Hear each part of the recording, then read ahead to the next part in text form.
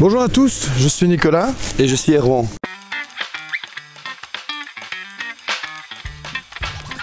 Euh, ce qu'on a aimé à la plagne, c'était euh, évidemment le hors-piste, les petites poudres sympas avec euh, les petits bois, les petits sapins à éviter. C'était plutôt sympa. Oui, on n'est même pas beaucoup tombé en plus. C'est vrai. Prenez bien votre matériel pour vous protéger les coudes si vous êtes snowboarder, pour pas vous faire mal. Mettez un petit casque, ça fait toujours plaisir. Oui. Voilà, et bonne journée.